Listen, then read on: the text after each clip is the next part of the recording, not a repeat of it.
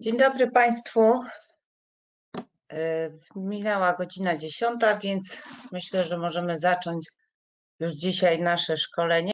Nazywam się Paulina Kawęcka. Od 22 lat pracuję w Wydziale Ochrony Środowiska w Urzędzie Miasta Szczecin i e, zajmuję się e, rejestracją zwierząt egzotycznych od 8 lat. I wracam do tego pytania, które zostało zadane jeszcze wcześniej przed, y, przez y, tutaj y, panią. Czy można posiadać kapucynkę, lemura, kata? I czy są potrzebne dodatkowe zezwolenia na te zwierzęta, na przykład rdoś? Rdoś na pewno nie, dlatego że to nie są taksony rodzime dla nas, dla Polski, więc na pewno nie.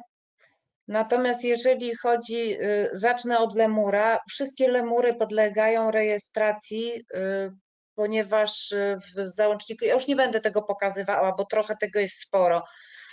Wszystkie lemury podlegają rejestracji jako te, które znajdują się w załączniku, a cała rodzina Lemuridae, tak? Czyli wszystkie lemury, jakie by nie były gatunkowo, one podlegają rejestracji jako te, które są w załączniku A, czyli do ich prostu zarejestrowania będzie również wymagany dokument dodatkowy, czyli to z, y, zaświadczenie do, y, świadectwo do użytku komercyjnego. Natomiast w przypadku kapucynki ona też jakby literalnie nie występuje w, y, w załącznikach do rozporządzenia, ale wszystkie kapucynki, które są, są, one są wszystkie, cała rodzina Cebide, tak? Czyli wszystkie właśnie kapucynki są w tej rodzinie, one będą też rejestrowane.